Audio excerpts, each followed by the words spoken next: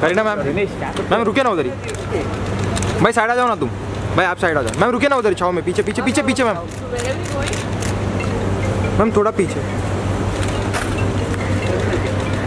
अरे चेयर जी।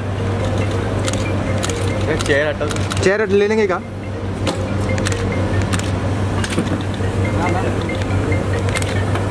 जी यहाँ पे। करीना मैम।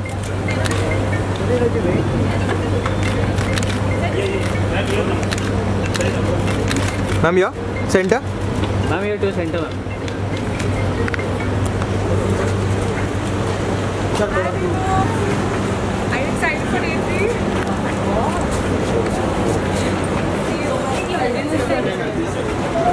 you.